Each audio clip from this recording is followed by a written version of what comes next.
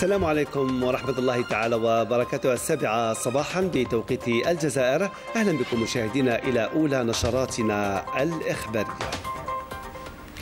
بداية أدى أمس السيد عبد المجيد تبون رئيس الجمهورية القائد والأعلى للقوات المسلحة وزير الدفاع الوطني رفقة رئيس أركان الجيش الوطني الشعبي السيد الفريق سعيد شنقريحة أدى زيارة اطمئنان على صحة رئيس الجمهورية العربية الصحراوية الديمقراطية السيد إبراهيم غالي حيث يستكمل العلاج جراء إصابته بكوفيد 19 وذلك بالمستشفى المركزي للجيش الدكتور محمد صغير نقاش بعين النعجة بالعاصمة الجزائر.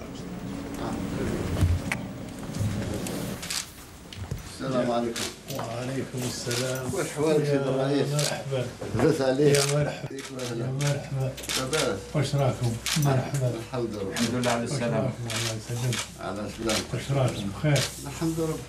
راك في بلدك. راك في بلدك.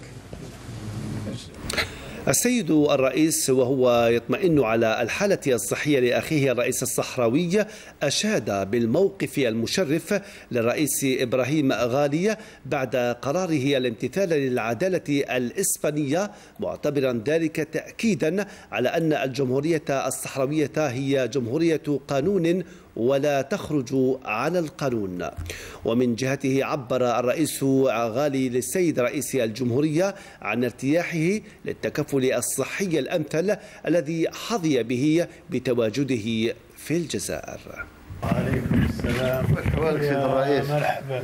يا عليك. مرحبا. فيك يا وهلا مرحبا. لاباس. واش راكم؟ مرحبا. الحمد لله. الحمد لله على واش السلامة. راكم؟ الله يسلمك. على سلامتك واش راكم؟ بخير الحمد لله. واش راكم؟ الخدمة؟ لا تنكس. الحمد لله. سالمين. لله الحمد. الحمد لله. الحمد لله. حسن مرحبا. فيك وهلا. مرحبا كبير. كبير. ايوا واجب. آه على كل. واجب. ال- أعتقد هو على كل حال أنا اللي عجبتني وعجبت حتى سيد الفريق أنك امتثلت العدالة ال- الإسبانية. وأعطيت صورة على الجمهورية العربية الصحراوية بأنها جمهورية تاع قانون. ما تخرج عمرها ما تخرج على القانون. هذا واجبنا سيدي هذاك هو. آه. إحنا مناضلين قضية نعم. من أي موقع ومن أي مكان وفي أي ظروف. يعطيك الصحة. المهم حسب روحك آه، لا مليح. صعب الحمد لله. صافا. صعب راني في تطور ملحوظ و- ومن الأيام إن شاء الله الميدان. إن شاء الله. إن شاء الله. خذ راحتك على كل حال إن شاء الله. الحمد لله. الحمد لله. جزاكم الله خير. واجب. جزاكم الله خير. الله يمتنكم قويكم. الجزائر تبقى شامخة إلى الأبد. شكرا. امور قضايا تاع الحق. عمر الجزائر ما وخرت. هذا من أول يوم استقلال. تكون قضيه يعني فيش شخصية مش حالة قائلة.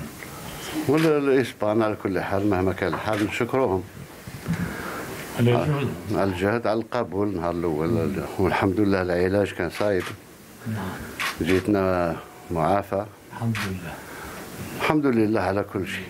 الحمد لله على كل شيء. إحنا شرفناهم شوي بعدالتهم درت مليح شرفت عاداتهم لا هذه من شيم ال- ال- ال- ال- ال- المناضلين والثوريين. من شيمهم أنهم يحترموا العدالة. عكس ما يقال عكس ما يقال. أساس ركائز نضالنا هو العدالة من أجل العدالة. ثم طالبين من العالم بإسرع عدالة. ما يمكنش تتخلاوا على العداله هذا هو. الحمد لله على سلامته. الله يسلمك. الحمد لله على سلامته. الله يسلمك. يسلمكم جميعا. ويمد في أعماركم إن شاء الله ويعطيكم. راك في بلدك. راك في بلدك. أنت ظان باللي أنا اليوم اجد أجد أي إنسان أحسن مني ظروف وأنا في الجزائر مش موجود. راني في أحسن ظروف. نفسية معنوية جسدية. جسوي عالجي الحمد لله يا رب. الحمد لله. الحمد لله على السلامة و... الله يسلمك. نتمنى لك تخرج في أقرب وقت و... إن شاء الله. موفقين. إن شاء الله إن شاء الله إن شاء الله. خلينا بخير إن شاء الله. إن شاء الله يا رب. بارك الله فيك.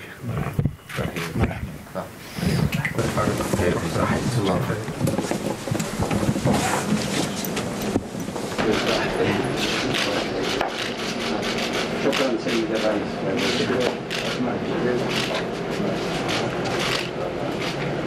سيد الرئيس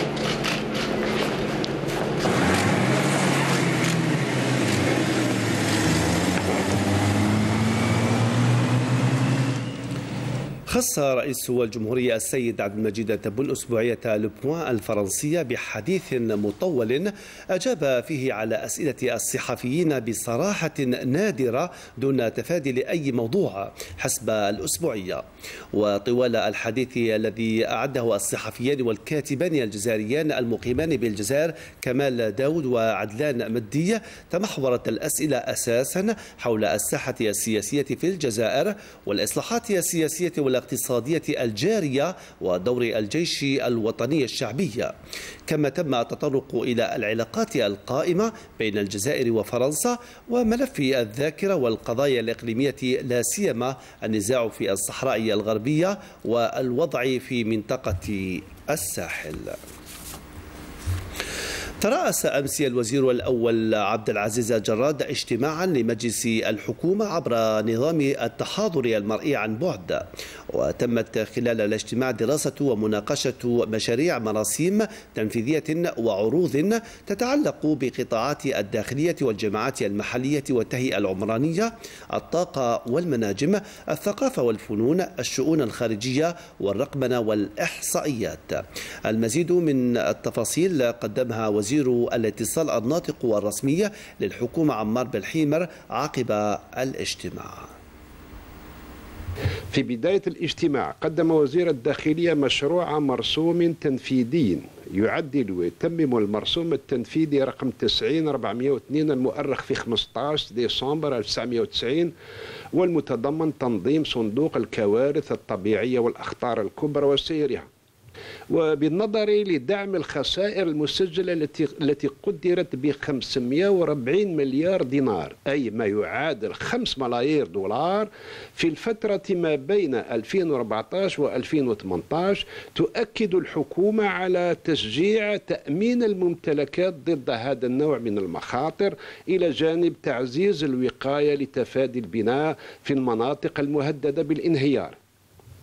أما وزير الطاقة والمناجم فقدم ثلاثة مشاريع مراسيم تنفيذية. يتعلق الأول بنظام ترخيص استغلال المنشآت والهياكل التابعة لنشاطات المحروقات وكذا كيفيات الموافقة على دراسات المخاطر المتعلقة بنشاطات البحث ومحتوياتها. أما المرسوم الثاني فيحدد كيفيات احتساب تكلفة برنامج التخلي عن المواقع وإعادتها إلى حالتها الأصلية فيما يخص امتياز النقل بواسطة الأنابيب وتقييس هذه التكلفة ومراجعتها الدورية وحساب الاعتمادات السنوية وتحويل الملكية. فيما يخص المرسوم الثالث فهو يتعلق بكيفية احتساب تكلفة برنامج التخلي عن المواقع وإعادتها إلى حالتها الأصلية والمراجعة الدورية لهذه التكلفة مع حساب الاعتمادات السنوية وتقييمها.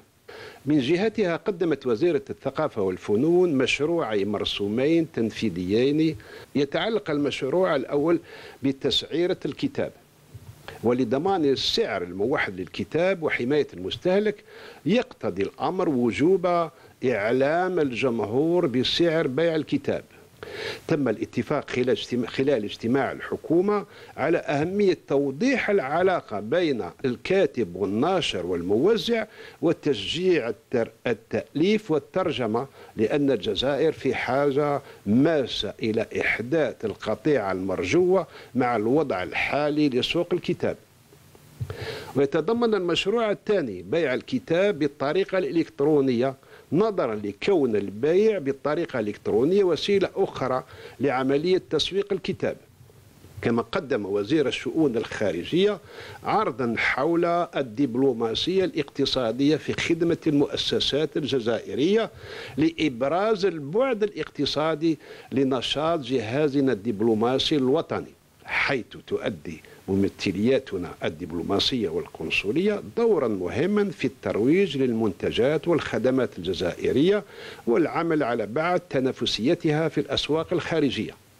إن مجموعة التدابير العملية التي بادرت بها وزارة الشؤون الخارجية تهدف للدفع والإسهام في الرفع من القدرات التنافسية لمتعاملين في دخول الأسواق الخارجية وفي إقامة شراكة اقتصادية رابحة رابحة تماشيا مع التوجهات الجديدة التي أقرها السيد رئيس الجمهورية في إطار تنويع الاقتصاد الوطني وترقية الصادرات خارج المحروقات.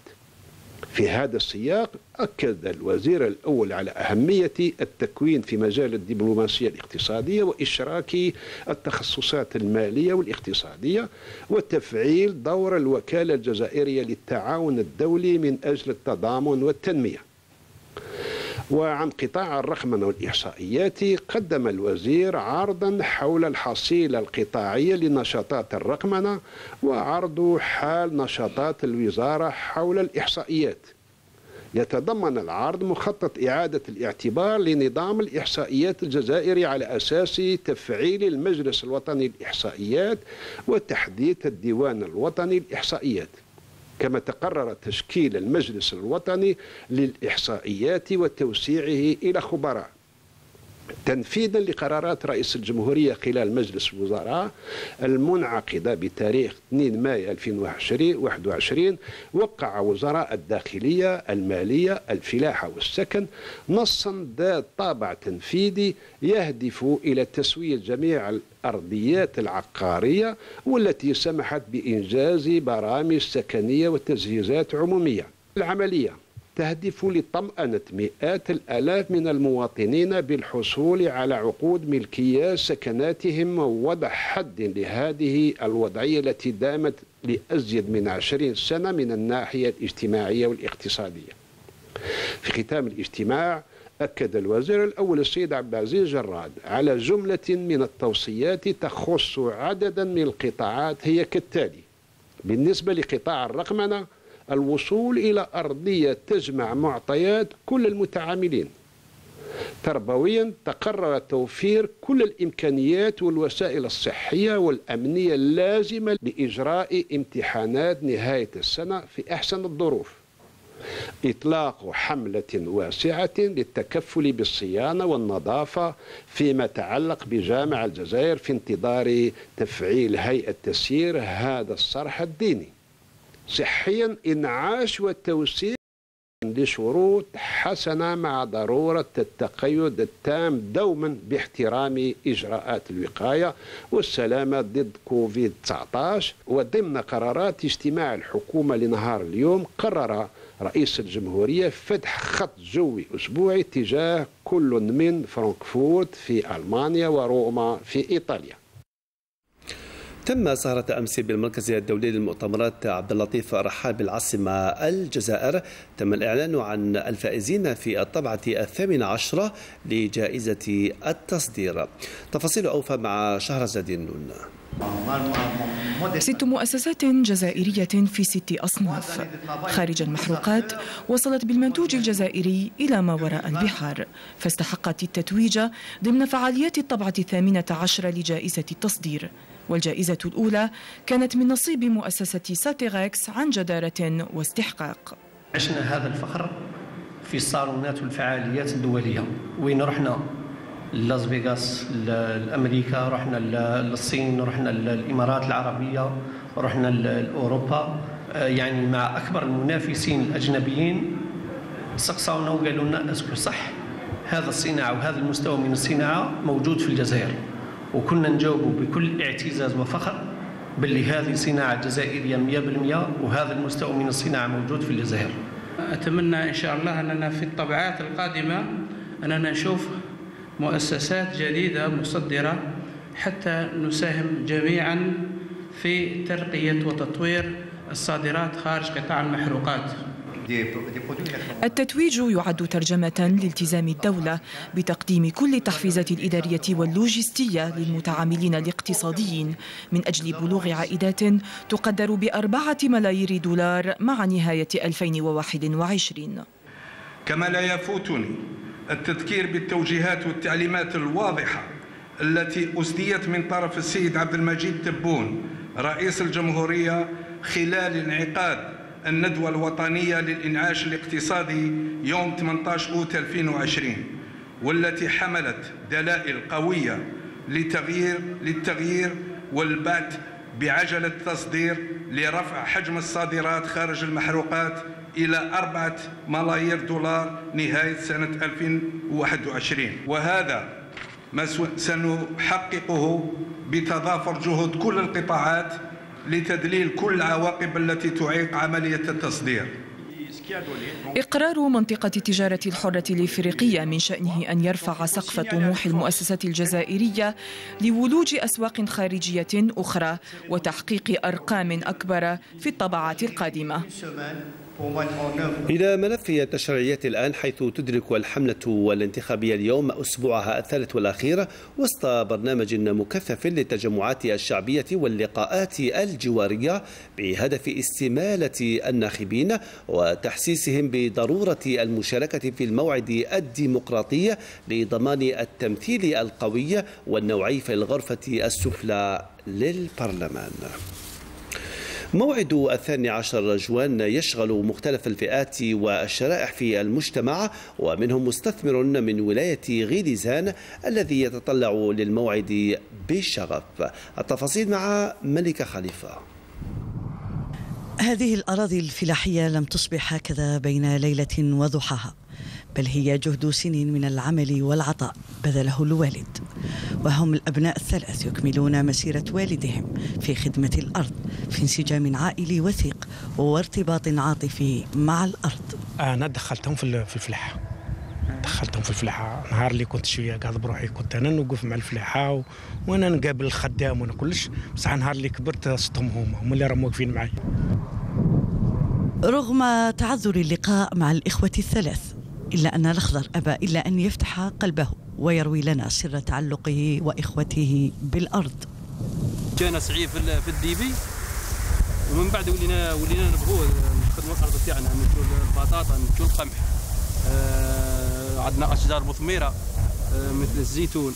عندنا الحمضيات والدولة قدمت لكم الدعم الحمد لله استفدنا بالدعم من الدولة. و عطاتنا كما قوتا قوتا عطاتنا مواتر عطاتنا آلة حصاد وبعيدا عن حقل الفلاحة حقل السياسة جزء مهم في حياة الشاب فهو مهتم كغيره من الشباب بالانتخابات التشريعية وهذه رسالته إلى الشباب عامة والفلاحين خاصة. بنا كاع الشباب يكون نهار 12 جوان في مكاتب الانتخاب آه، باش يكونوا لجان يمثلوا هذا البلاد ويحبوها وباش البلاد تاعنا تستقر و... ونطلبوا من اللجان يكونوا يمثلوا الفلاحة فاني في الوزارة ويكونوا باش الفلاحة مليحة. ماذا بينا كاع لاجونس تقدم الفلاحة وتخدمها هكذا يراقب الأب ما جنته يده في أرض يخدمها هو وأبناؤه وكله فخر واحتزاز بهم. كونهم اختاروا عن قناعة مساعدته في هذه المهنة التي هي حاضرهم ومستقبلهم في وطن اسمه الجزائر. انتخابات يتطلع من خلالها المواطنون إلى تغيير نحو الأفضل. أنا بصفتي كمواطن جزائري. نتمنى من الناس هذم اللي ترشحوا يكونوا في المستوى. الجزائر أمانة غالية. وكما سبق وشفنا شفنا اللي اللي فاتوا.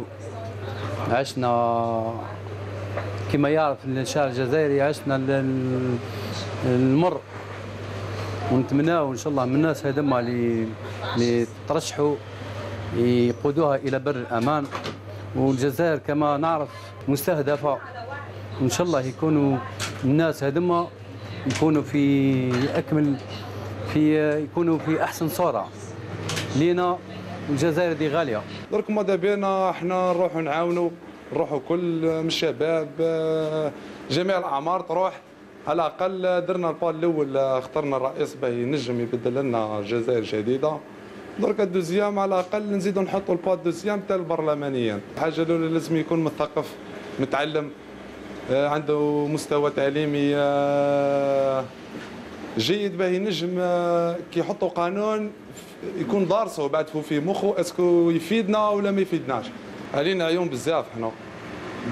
ماذا بينا نقعدوا يد واحدة آه، نوقفوا مع بعضنا كيما نقولوا آه، كيما خلاوها هذا. شي نستنى يعاونونا يعاونونا شوي مع تاع الفلاحة هذه ويصلحوا البلاد برك. إحنا نتمناو الخير كل الجزائر تاعنا. نتمناو لها الخير وخلاص واللي يطلعوا بربي إن شاء الله يكونوا صالحين برك. باهي نتهلاونا في الجزائر. ويعاونونا الفلاحة. أنا وصيتي للشباب ما يستمتوش للناس هذم اللي يحبوا يقسموا البلاد. إلا راهم صح يحبوا بلادهم ويحبوا الجزائر ووالديهم يحبوا البلاد وجدودهم ماتوا على البلاد هذه ما يستمتوش للناس هذه اللي راح يقسموا البلاد. إحنا رانا أمة واحدة الناس نهار ناضوا في 54 ناضوا كل كلمة واحدة من الشرق للغرب من الجنوب للواحد. فهمتني؟ ما يستمتوش للناس اللي بيحبوا يتقسموا البلاد والله يديروا النبي مع قبائل الشويه هذه كل نحب ربي إن شاء الله. إحنا أمة واحدة وكلها نضلوا من أجل الجزائر الموحدة. إلى الوضعية الوبائية بالبلاد حيث سجلت 322 إصابة جديدة بفيروس كورونا وعشر وفيات خلال ال 24 ساعة الأخيرة فيما تماثل لشفاء 224 مريضا حسب ما كشفت عنه وزارة الصحة والسكان وإصلاح المستشفيات في بيان لها. أعلن نظام كوفاكس لتوزيع لقاحات كوفيد 19 عن تخصيص 2.4 مليار دولار إضافية لضمان توزيع عادل على البلدان الفقيرة لما يقارب 1.8 مليار جرعة.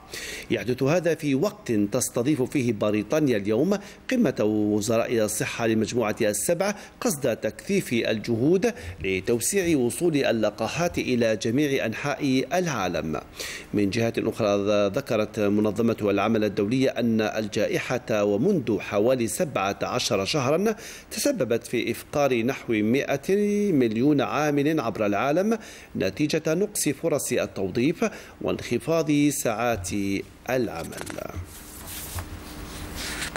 أخيرا وفي الرياضة وتحسبا للقاءات الرسمية القادمة يخوض المنتخب الوطني الجزائري لكرة القدم سهرة اليوم ابتداء من الساعة الثامنة وخمس وأربعين دقيقة يخوض لقاء وديا ضد المنتخب الموريتاني وذلك بملعب مصطفى تشاكر بالبليدة.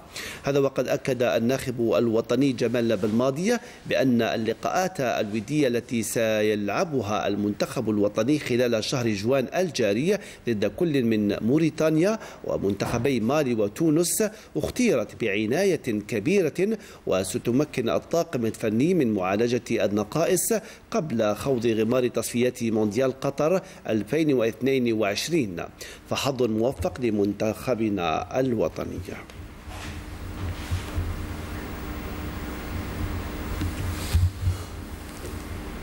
وبأخبار الرياضة نختم هذه النشرة. قدمناها لكم من الإخبارية الجزائرية. نشكر لكم طيب المتابعة. يوم موفق دمتم بخير.